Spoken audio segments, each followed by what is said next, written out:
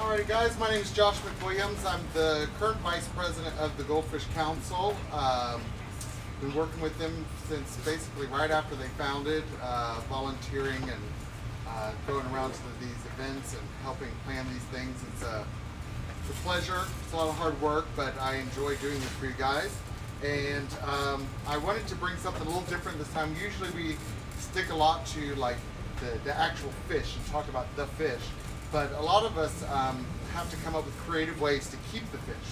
Um, a little bit about my past uh, in, in, the hobby and before then is I was I was raised in an agricultural community and um, actually raised a bunch of different livestock, um, specialized in rabbits and dairy goats. Um, so I did a lot of my own builds. And that was one thing when I was going into the goldfish community, I had a moved from basically a rural community to a downtown area and lived in a high-rise building on the 12th floor and had to somehow figure out how to fit 1,200 gallons of water in a studio that was 450 square feet in a high-rise. oh my goodness. Did, did So- you tell the landlord? Uh, Did not. I did not let them know. There was nothing in the rules that said because we did have concrete floors. So there was nothing in the rules that, in, in the lease that said anything about fish.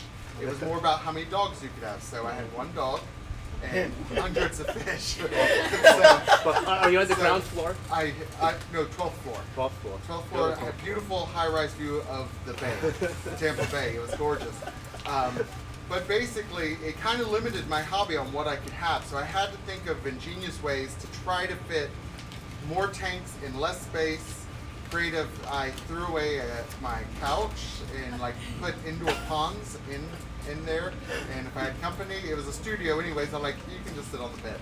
But uh, but basically, I had a lot of different ideas of ways to save space, and it just got me into building because you can't buy these kind of things. You can't buy space-saving ideas really. Um, everything's kind of big and monstrous. If you want big volumes of water, it just takes up a lot of space.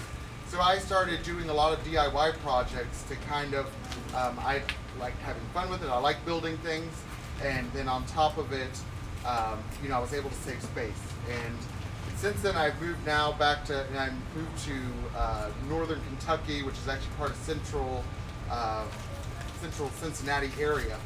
And so I now I'm taking that into my new fish room and building even bigger builds outside in my new backyard. Now that I have an actual yard and everything, I'm taking my DIY experience in the uh, studio now to doing it in my backyard, which is amazing. So why do we do DIY projects? Um, like again, you can do something custom. There's not, you know, they don't make everything that'll work for your situation. So you can do custom builds that will suit your needs.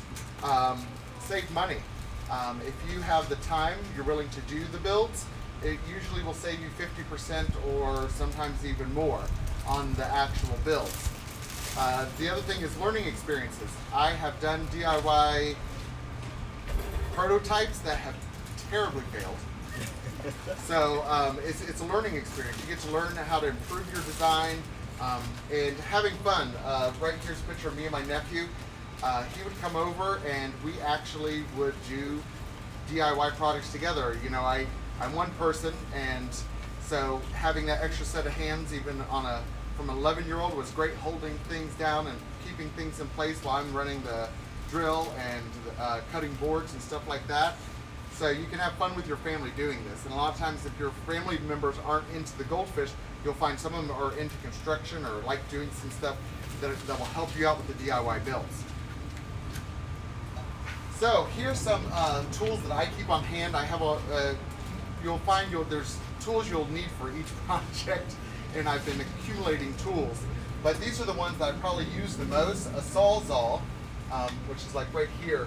You can, it, like it says, you can saw through almost anything. Um, they're great for deconstructing pallets or cutting stuff that you already have existing that you can't get a circular saw in there too. Um, a circular saw for cutting uh, plywood, for cutting boards, power drill, assorted drill bits, and a hole saw, um, which is basically just a fitting. You'll find them a lot of times they use them to install the mechanics for your doorknobs.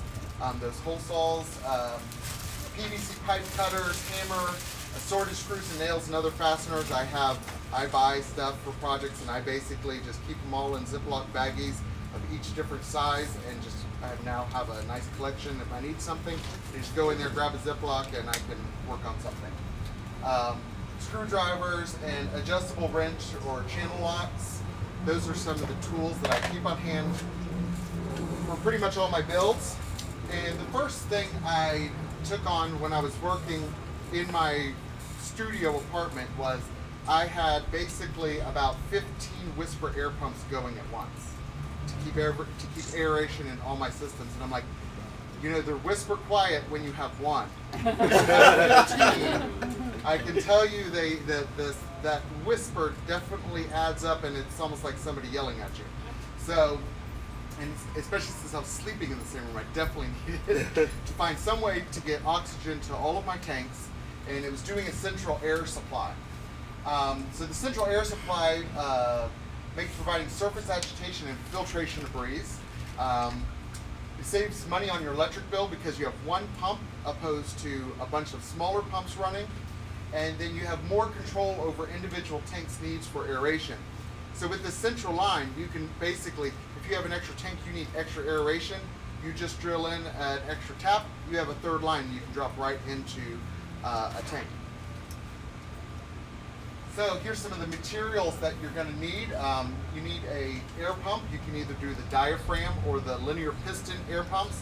Linear pistons last forever. They're usually a little bit louder. Diaphragms are quieter, but you usually have to every two or three years either rebuild the diaphragm by a rebuild kit um, or you have to buy a new one. You can usually find the diaphragm ones fairly inexpensive. Um, I got uh, the size I use for I think under $100. Uh, searching on eBay and found a really great deal and got one for under $100. Um, and if it goes out, I'm probably just going to buy a brand new one. I'm not even going to worry about. I've already had it for four years and it has not gone out. So the other thing is your airline valves, and it's important. I they, they sell plastic and they sell the nickel plated ones. I prefer the nickel plated ones. They're more indestructible. Um, I've had the plastic ones where like you hit it and it pops right off and breaks off into the holes that you drill in the PVC. So I generally use the uh, nickel plated ones. They're also self-tapping. So when you get the drill bit and you put the drill bit in, you can literally just screw it right in and it self-taps.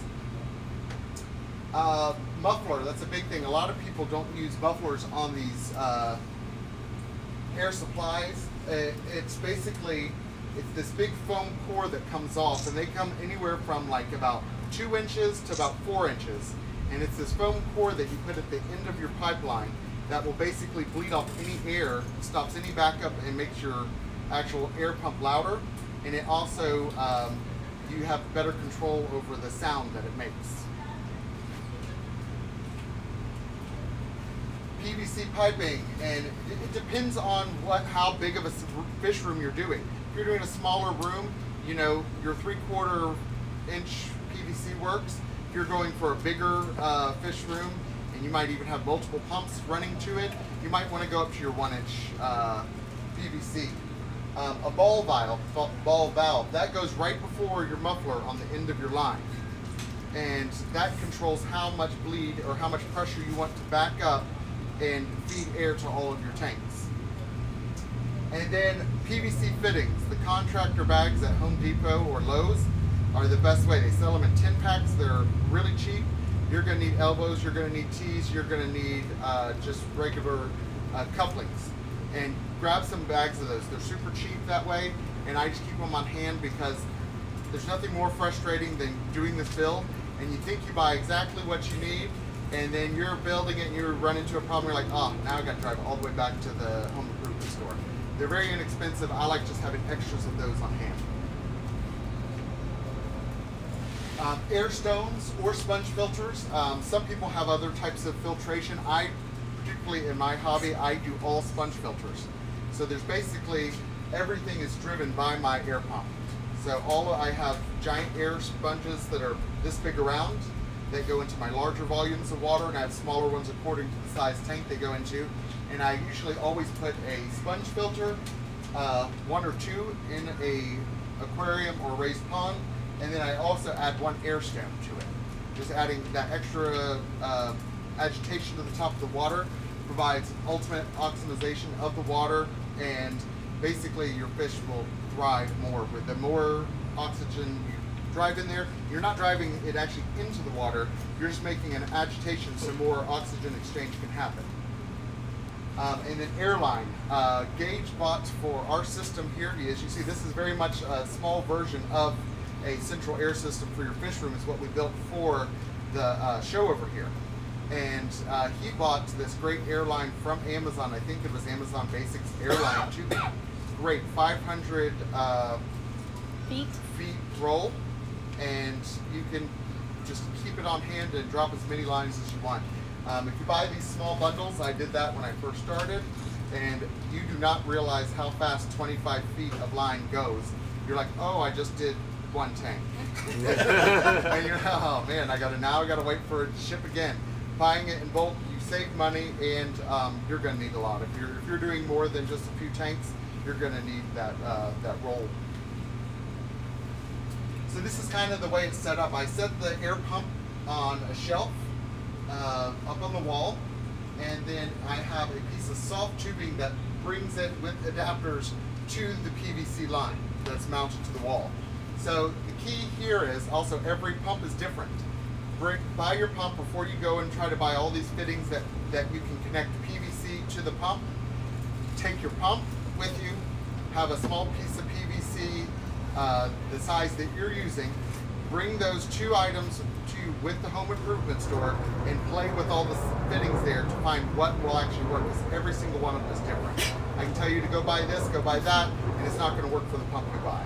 So again, after five trips back and forth, I realized, okay, let's think smarter, not harder, and brought everything there and actually put it together, a dry fit right there in the buggy inside of the uh, Home Depot. So then you have your basically your PVC. I use the the little clamps they sell to attach PVC. Usually it's under houses, and I attach that right to the drywall around, and it basically run it around the entire circumference of my fish room. If you're doing a smaller area, you can just run it down one little section of wall, whatever you, you it's basically customizable to your space. And then I take my drill after I get everything mounted. I take my drill and drill right into the PVC after it's up on the wall, and I do it over where I want the tanks. If you happen to already have water and fish in there, you're going to want to put a piece of cardboard over it because you'll get little flyaways of PVC. But you drill right in, and you can take those sap tapping air valves and screw right in, and you drop your lines to your tank. Over here shows you the way the ball valve and the muffler are, and that's at the very end of my fish room. And that's actually closest to my bedroom, and I cannot hear any hissing, I can't hear any loud humming because of that muffler that's on the end of the system. So some key pointers uh, when you're installing this, make sure you buy a big enough pump. Um, Jehmco is a really great company that sells pumps and they sell basically anything you need to do this. You don't have to buy it all from there, but I do recommend looking at their site. They will basically tell you how big of a pump you will need for how many tanks. They give suggested like this pump uh, with this amount of force will do 25 to 35 tanks. Go on there, decide how, and always make sure you give yourself room to grow because let's be honest, we don't stop with one or two tanks. We wind up getting a bunch more if you're, especially if you're building a fish room, okay? Uh, make sure you test fit all your transition piece to the pump and the PVC. Like I said, when you go to the home improvement store, bring your equipment with you. They don't say anything about you bringing anything to the store. You say, I just need to test fit all this stuff. Um, it makes multiple trips back to the home improvement store a lot easier. Make sure you start a new drill bit. After every, so, you know, I'll do 30 drills, it wears out. You'll notice towards the end of the, you know, after you're doing 25 and 30 holes, it starts wallowing out the holes to where the it's The actually self-tapping the self tapping is not working. It's fitting really loosely in there. Um, so have a couple of drill bits. Uh, make sure you measure twice, cut once. That's always important. My dad taught me that growing up, is to definitely measure stuff a couple times before you make the cut. It'll keep you from losing actual um, wasted lumber. Um, and make sure you buy a big mu- mu- muffler along with so the bigger the pump you have, the bigger muffler you'll need at the end. Um, don't be afraid to buy a bigger one. There's not that big of a cost difference, and generally it'll save you from having the aggravation of the sound of a hissing noise that you'll get when you're running these type of things. Um, and make sure you buy extra fittings and threaded valves. Like I said before, buy buy stuff in bulk.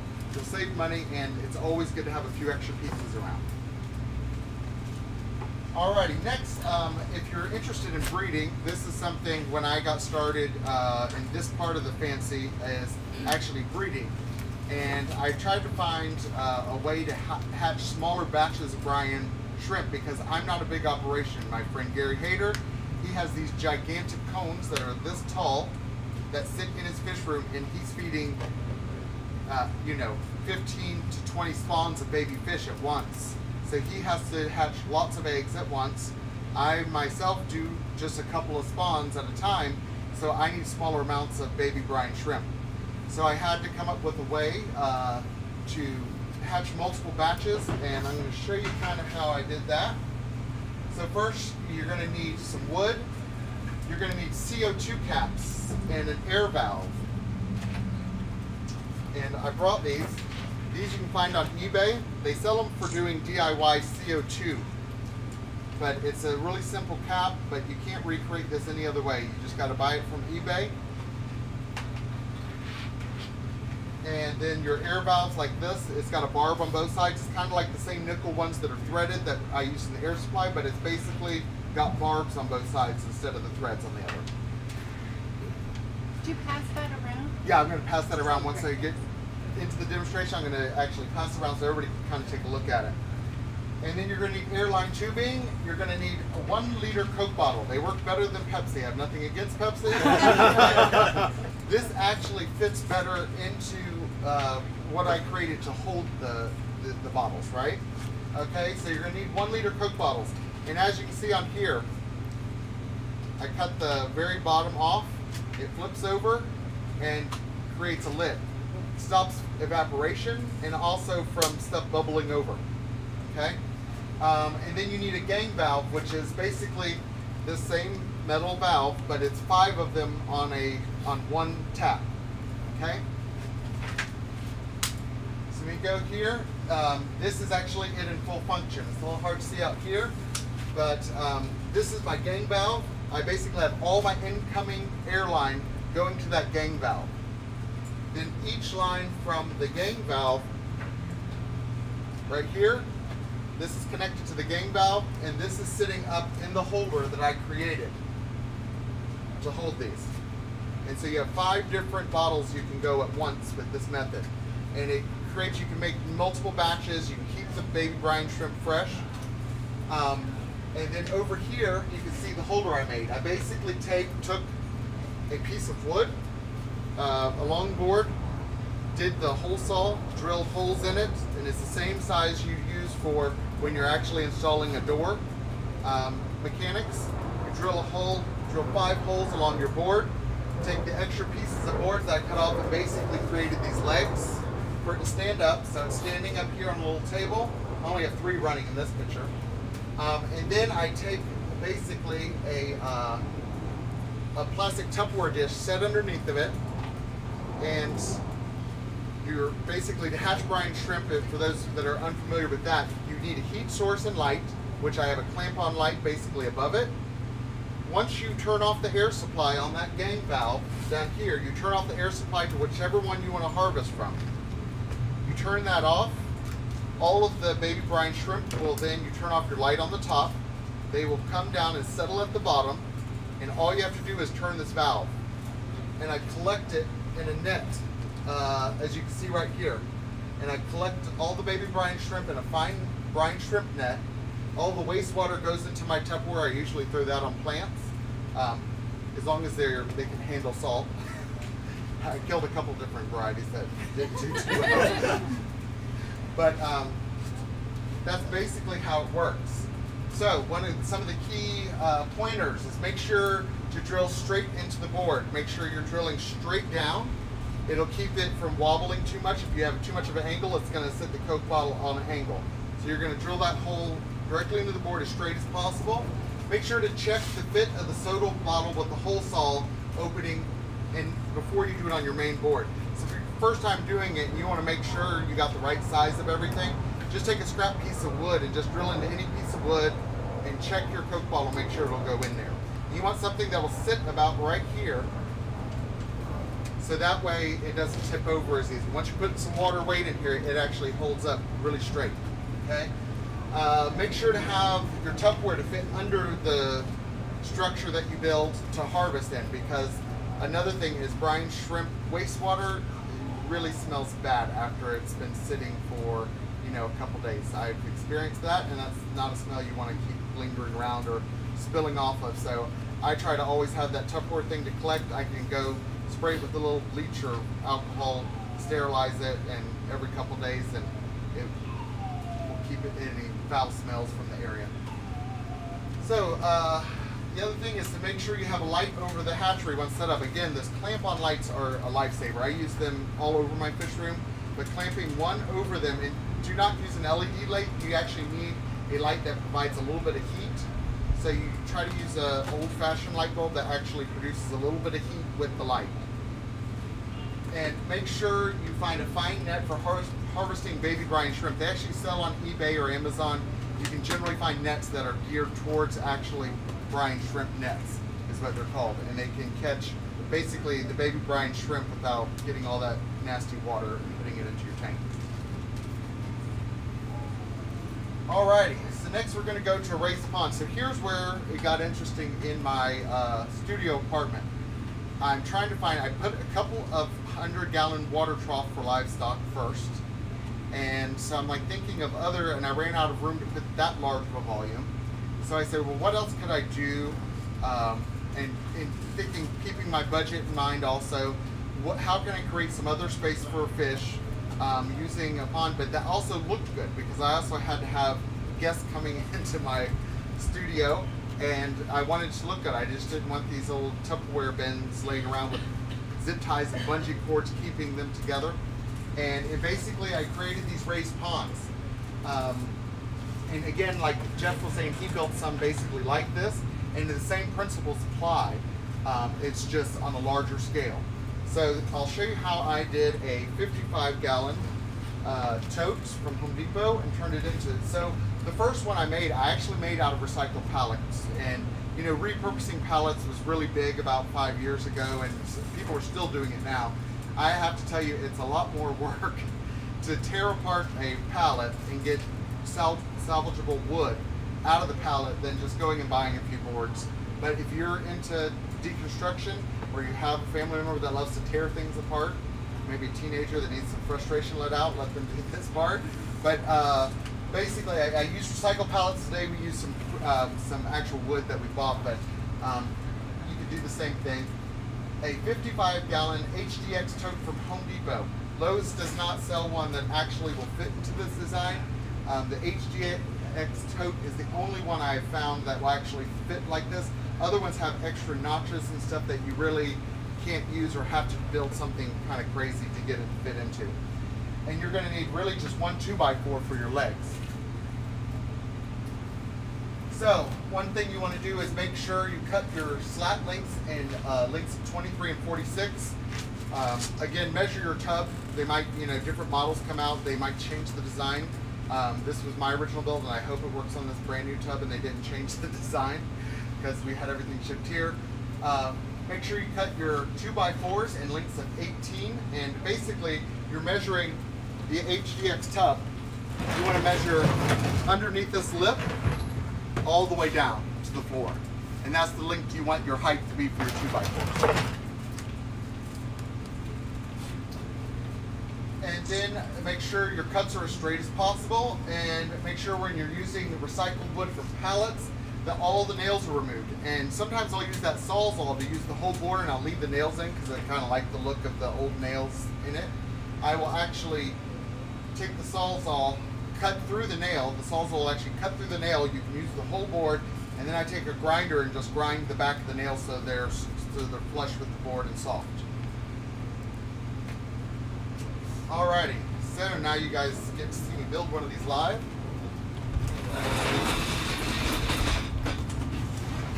Situated here. If you want to save the lid, find some other cool idea to do with the lid, you can do that, but it's not really needed for the build.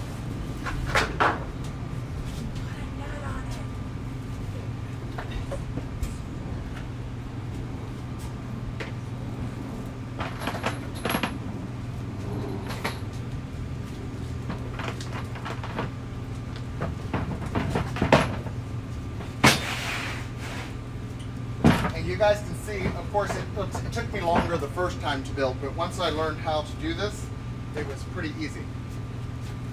So I start with my top slats. And this is basically the long side. There you go. This.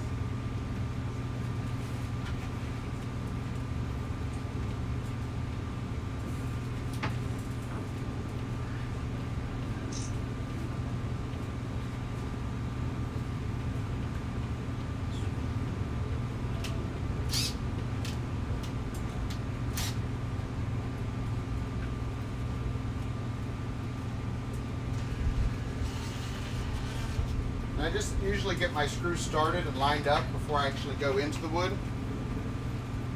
Makes it a little easier.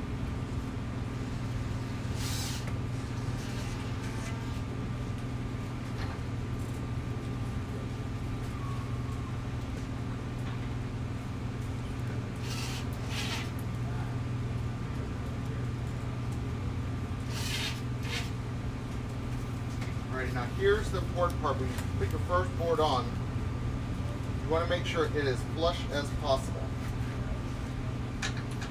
Lined up, Oh, oops. but that doesn't happen.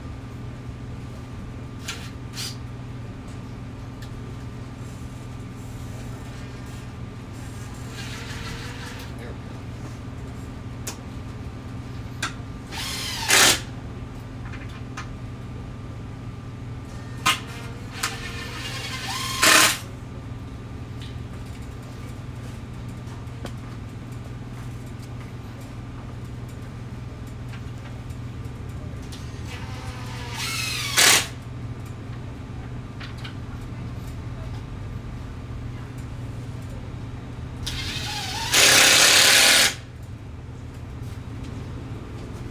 Joshua, is there a type of wood that you would recommend for this?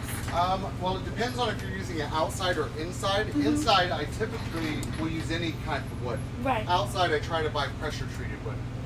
And that's and what this also, yes, and also if if you happen to not get um, fine pressure treated wood that you want to use, Yeah. you can always uh, buy a stain or any type of sealant and put on it if you're going to use it outdoors.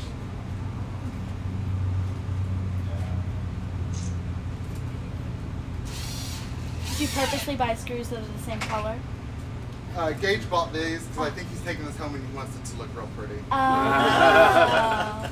So I've made them all kinds of different ways. And like I said, I've used the um, actual uh, recycled pallet wood with all Yeah. the different kind of colored and aged woods. Mhm. That actually looks really cool. yeah, I'd imagine it would. So, and I went through, uh, my studio was like um, an industrial like studio. It had Oh, yeah. concrete countertops, concrete floors. So using all the reclaimed wood, like I made It a wine really glass holder out of a pallet and had like big bolts coming out that actually held the wine glasses Nice. and did stuff like that. So it really worked. So just depending on your decor is how you want to go with this. You can make this, you know, look super fancy, or you can uh, make it look rustic. Thank you. But we could paint it any color we wanted, Yeah. because it's would- not going to affect the fish at all. Yeah, if you want, if you want a pink tub for your, I was thinking like a dark gray. you can go pink. Yeah.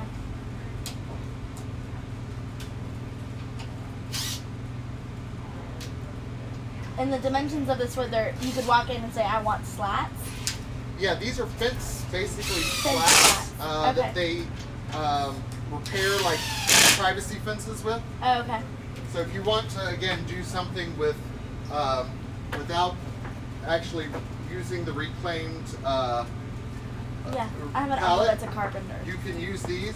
Yeah. These are really inexpensive. Yeah. They usually are like two dollars a slat. Oh, okay. And you really only need uh, six slats. Six slats.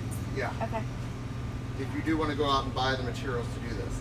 And the tub is only twenty dollars, so you literally can get this under like thirty or thirty-five dollars, even if you buy all the materials you need. Wow. And, and even, at, even at the dollar per gallon sale, Can't beat that. you can't get you know a uh, a fifty-five gallon fish tank. And there's no problem with the chemical leaching in these No. tubs. They're No, safe. those are safe. I've had them run for like five years now, and I've had nothing but great things come out of that. Okay. Most of the fish I've bred were raised in those tubs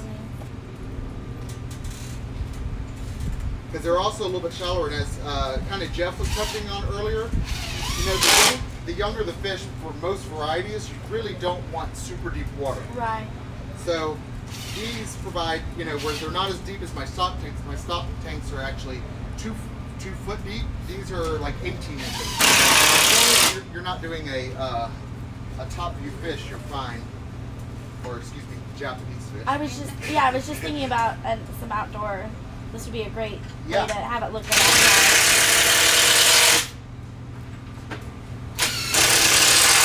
Because a raccoon's not gonna break through this. Or, Okay, so you have one like this. Nice. Create another one.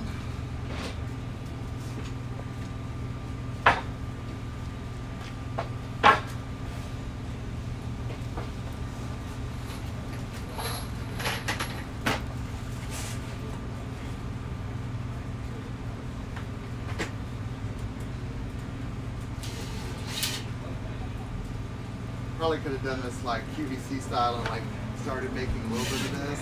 and then pull out the finished product, but but you can see We really like this that how yeah. Well, this will show you exactly how Like long how you much can do it. time.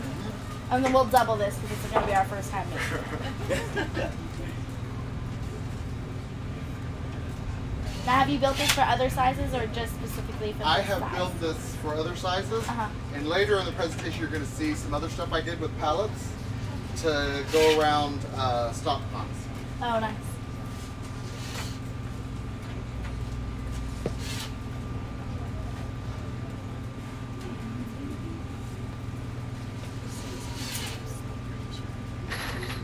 So these go around the tubs. mm -hmm. to support them because they they're not meant to hold 55 gallons of water. They bow Oh, they when you start filling them with water. And after they bow, they Yeah, it's not fun. This just gives them extra. Yeah, this design came after uh, the first one I got. I was like, oh, this is a great size for a goldfish. And it started bowing. And then I tried like putting a wood slat in between to hold them. The wood actually snapped. I used zip ties, tried all these different ways to get that from not bowing. And building basically a structure around it is the only way to guarantee that it's not going to bow. And over time, you might have some slight bowing with these fence boards, but it's not real bad. It's not structurally, it's definitely not going to crack. It might just bow a little bit and be a little bit more roundier than a perfect rectangle. A little bit more oval. Yeah. That's okay.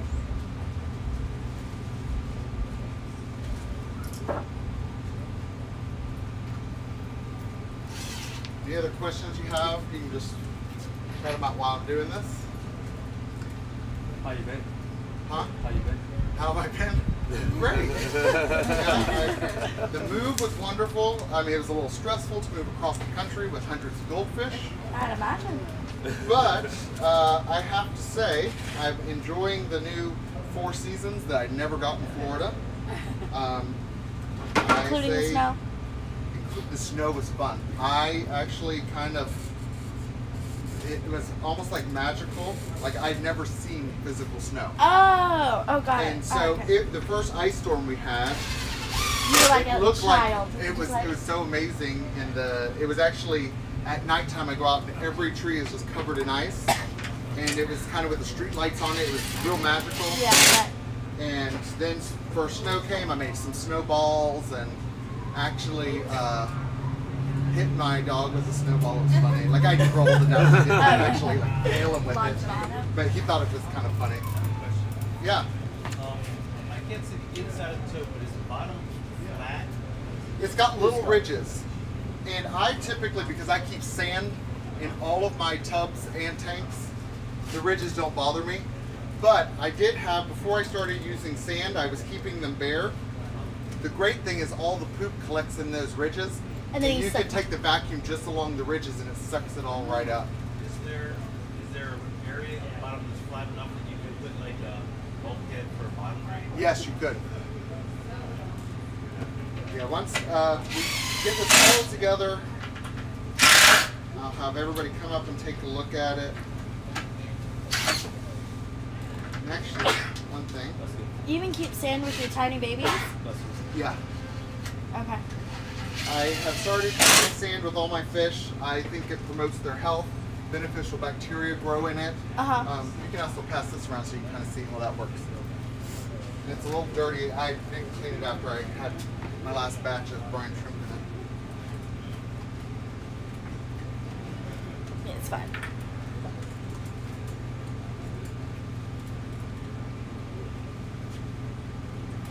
And always when you're doing this, do your top and bottom beam first, then your middle beam. So it'll make sure it stays pretty square.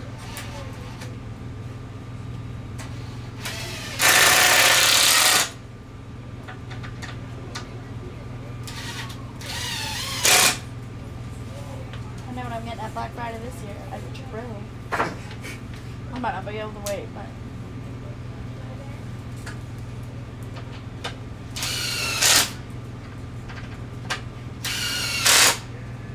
Amazon has a sale right now on DeWalt. I'm a, you know what? I'm a Makita fan. Hundred bucks for the The whole kit? Yeah. Nah. Not a bad deal. Nope. That one went through. Too much angle on that one.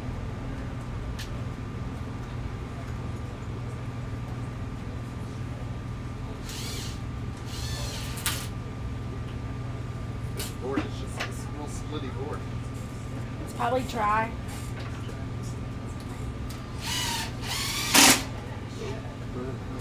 Too. Board doesn't like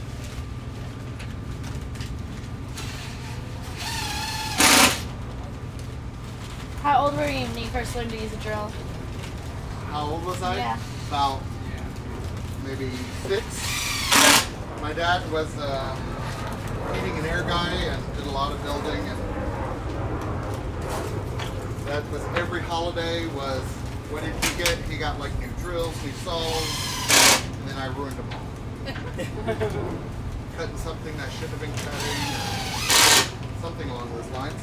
Okay, so now you got your your two sides here. Usually now the table's going to be a little obsolete. Throw out. That's not.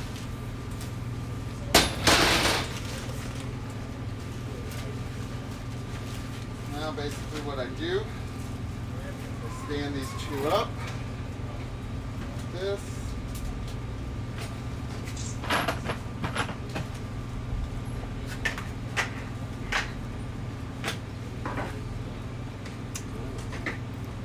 Oh, so is this a slat cut in half? This is the basically so a slat is six foot long. Uh huh. And so you use the long part there, you make one cut. Then you have basically this with what that, you know, the normal dog eared like band Oh. on it. And then after that, you just cut the excess dog ear to fit, make these 20, forget the exact count. 28? I thought it was 23. 23, I think, yeah.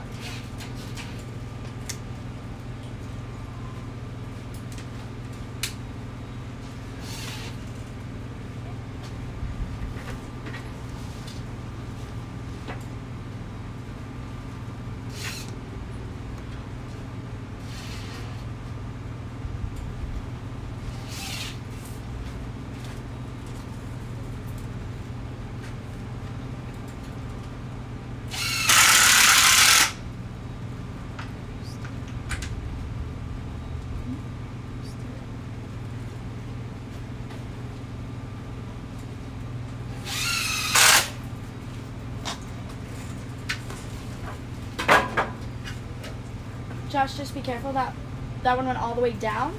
Those two went all the way down so you don't cut your hand. Thank you. Gage brought me a little too long screws. but- That's alright.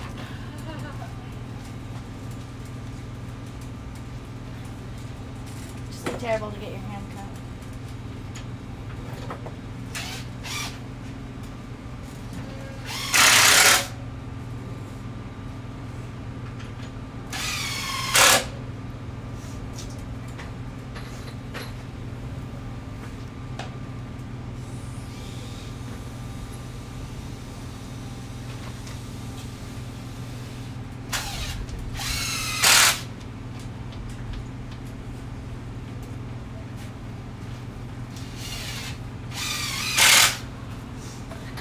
And it's not quite the end of the world if you do have the screws that go through.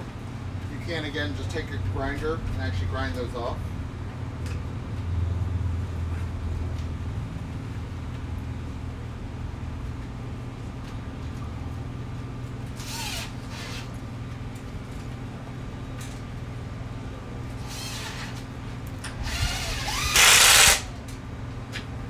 Oh, when you did it like an angle like that, it barely came through. Yeah. Just barely. Trying to adjust my.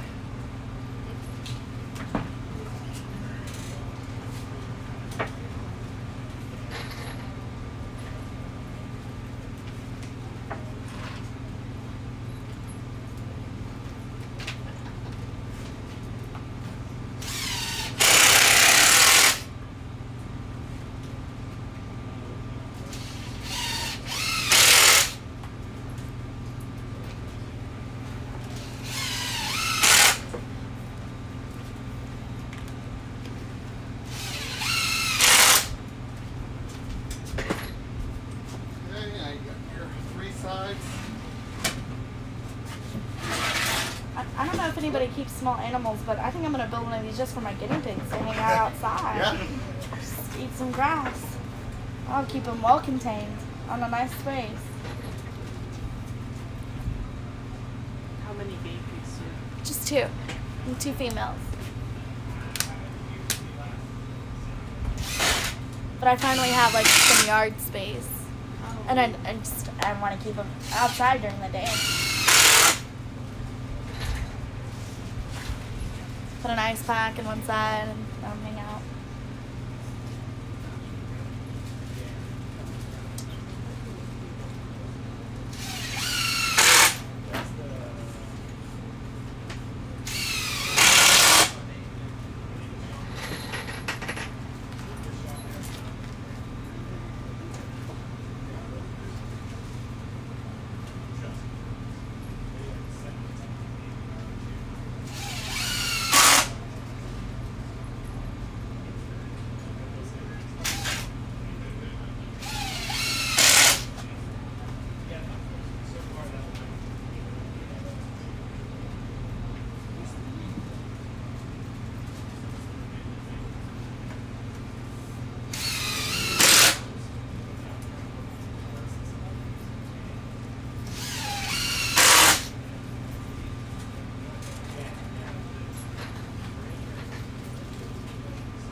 How many of these do you think you've built, Joshua? Um, I've built about 10 of them.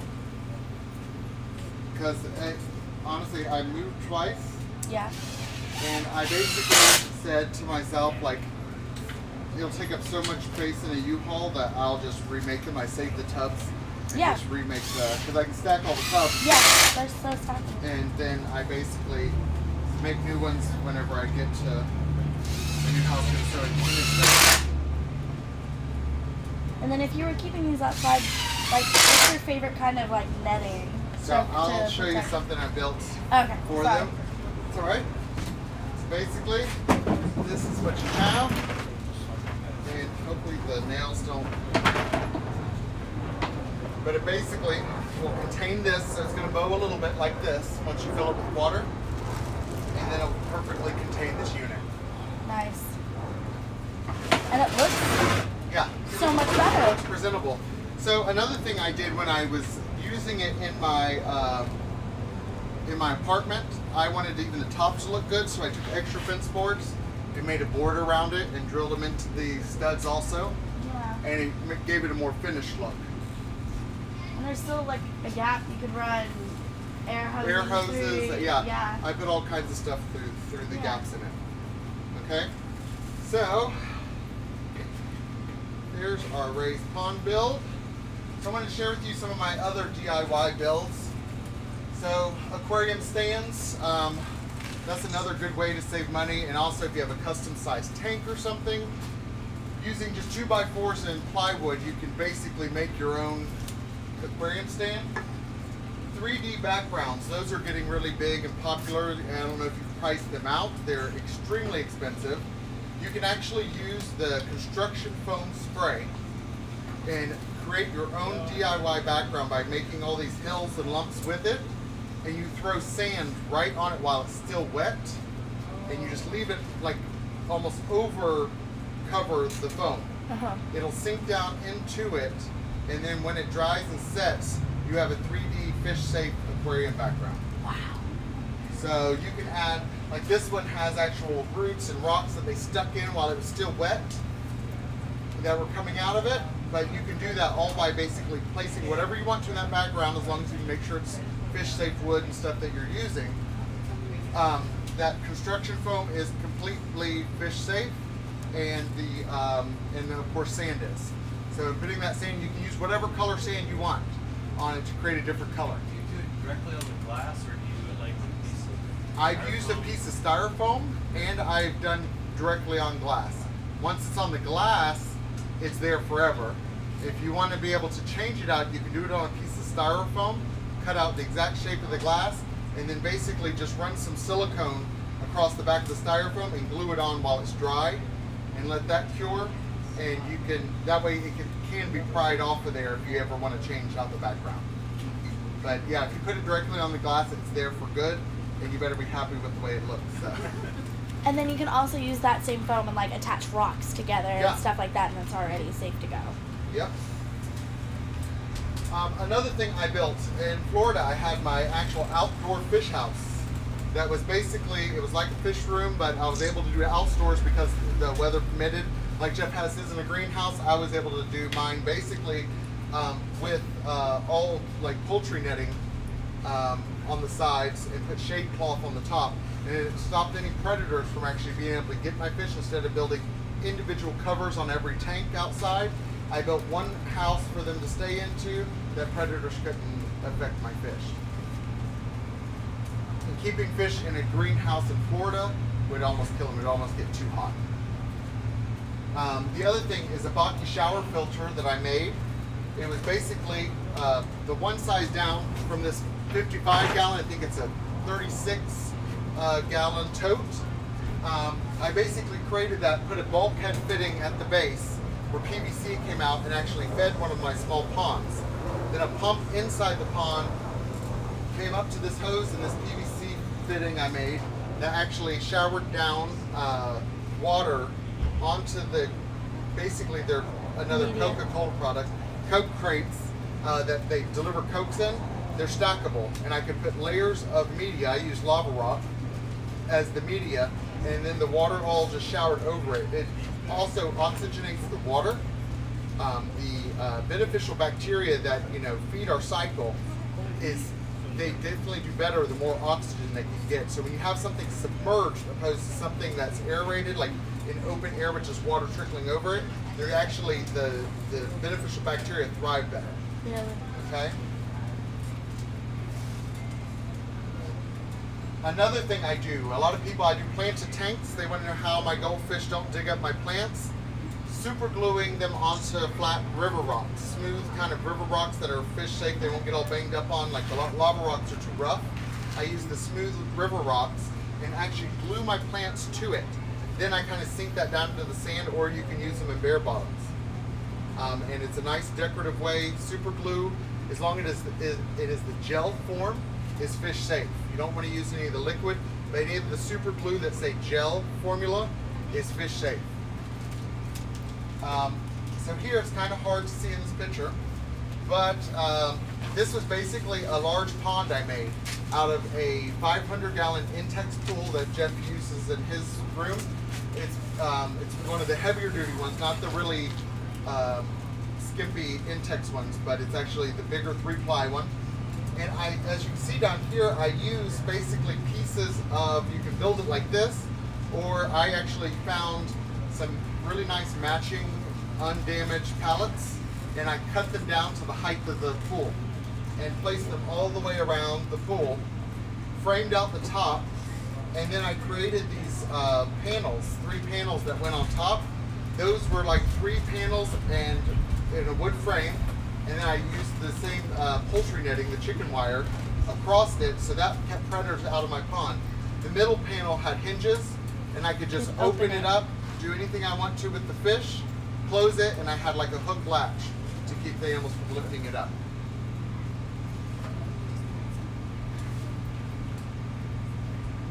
Another fun one is a snail trap. We all get those come in on our plants or other people's fish rooms. You get these pest snails and you don't have pufferfish to eat them. One way to get rid of them is to take basically a little Tupperware container, cut some holes in the side, put some um, small enough that where the snails can get in but your fish can't. You don't want to make it big enough where your fish can get in. You put a little bit of gravel or rock in the bottom and then some sinking pellets in there. Any type of sinking goldfish food will work. You put the top on it and let it slowly fill with water and leave it in your tank. Leave it there overnight. Tomorrow you will have almost every single snail in your tank in that Tupperware. They can get in and they have a hard time finding their way out that hole because they don't have the food source to smell to get out. So, and then you can take it out, dump the snails, do whatever you want to with them, and uh, it's a good way to get rid of pest snails. I did not build this, but I wanted to show you how elaborate you can get with your DIY builds. This is a moving bed filter. Each one of these uh, big 55 gallon drums have moving media in it. And they actually plumbed this where incoming water comes into the top one and slowly works its way down into each one of the moving beds before it goes back out to their pond. Wow. So, I mean, you, can do stuff super simple to super complex. And I know this guy, I watched him do about two, three different builds before he got to this, This was final product. aquaponics. It was this attached to an aquaponics system. No, this was to a koi pond Oh, uh, wow. in the UK. I've seen them attach them to aquaponics. Yeah, but these are really cool moving beds, and again, it's just PVC. Um, you know, you have your bulkhead fittings, and then uh, your 55 gallon drums, and it's all just done all DIY. And it's, I mean, if you start, if you get a large enough pond, you start pricing out koi filters in the 3,000 to 10,000 dollar price range for a, filter. You're at 200 there, Yeah, you're at a couple Before hundred bucks right here. Yeah. But media Okay. can be expensive. Yeah. Alrighty, some other household media uh, or different items that I've used for uh, different items in my fish room. Um, scrubbies that we use in the kitchen, as long as they're not have any type of soap product built into the scrubby, those make really great filter media. You can use them instead of the really expensive bio balls. They actually hold more beneficial bacteria than a bio ball. Um, lava rock for the shower filters. Like I said, you can get a instead of buying this expensive ceramic mediums when you're doing a shower filter, lava rock at Walmart is four forty four a bag. And I mean, it, my large vacuum filter took two bags of lava rock, and actually didn't even use the full two bags. And I was able to fill all those trays with lava rock for eight dollars. Sandblasting sand I get from Rural King and any type of I know not Home Depot and Lowe's don't carry it, but different other rural stores actually carry what they call sandblasting sand, and it's a black diamond sand that you can actually use instead of buying expensive aquarium black sand. It's twenty dollars a bag for a twenty pound bag, right? I get these fifty pounds. What is it? Eight for fifty pounds at Tractor Supply. Yeah. So the at Rural King, they sell it. And I guess Tractor Supply sells it also. Rural King sells it for six dollars a bag for fifty pounds. So six dollars for fifty pounds or twenty dollars for twenty pounds at the pet store. So if you're trying to save money on sand, that's the way to go. Clamp on lights, uh, I use them all over. Uh, I use them on our brine shrimp hatchery. I've used them on just on the side of tanks that I need to put light in the tank. Um, also, when I do grow outs for my fry, and I try to use my UVB reptile lights to bring out the enhance the color, those are great. You can find the screw-in UVB lights, clamp that on the side of a little tub or a bowl, and you have your UVB lighting for your fish. egg crate light diffusers right here. These are great. They used them, and it was really popular back in the day to do office buildings, and they put these up in the light fixtures as the light diffuser. Those make excellent dividers for aquariums. If you have, you want to separate your males and females, but you only have one space for that variety, you can put all your males on one side, all your females on the other, or you get somebody who's just kind of a, a butthead and likes to pick on all the other fish. You don't have the extra space for it somewhere else. You put it over into the other side using these uh, egg crate dividers. If you cut them right, certain times you can actually just wedge it in.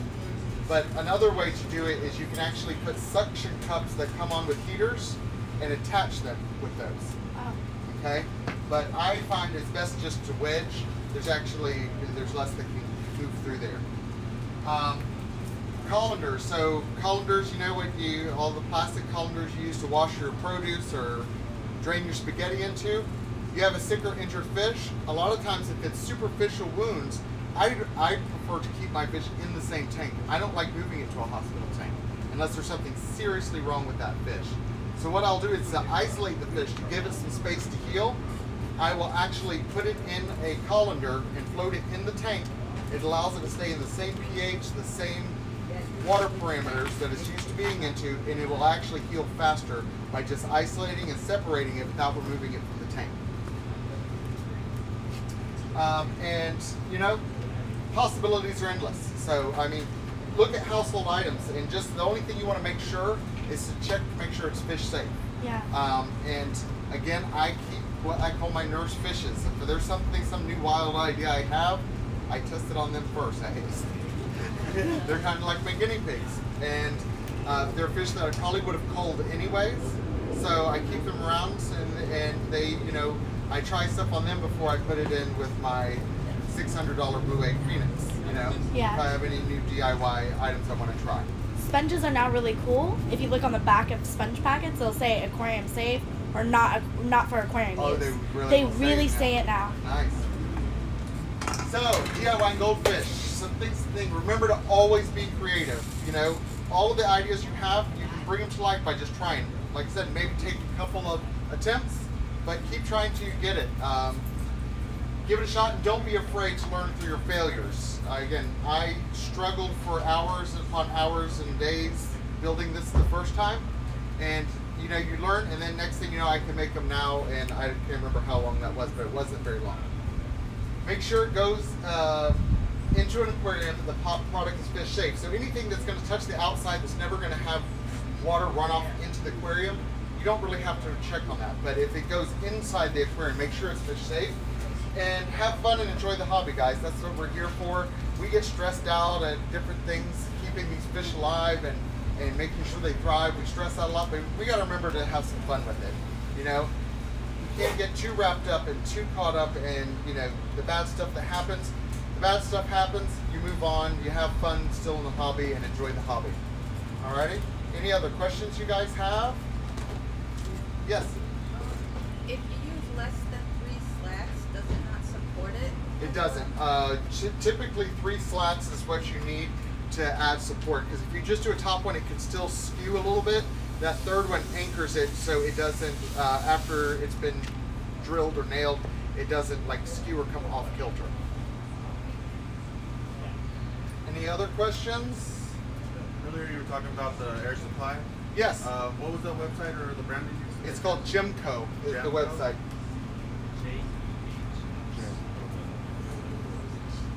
How do you spell that? Uh, microproduct. J-H-M-C-O. Any other questions? Alrighty, well thank you guys for coming to my discussion. Hopefully I didn't bore you to death. Oh, you did great. Thank you so much. And feel free to come up and take a look at this if you want to see like it, it, the finished build. You can come up and take a look at it. Like I said, normally the screws wouldn't be taken out, but uh, I'll kind of like that so you can the elements.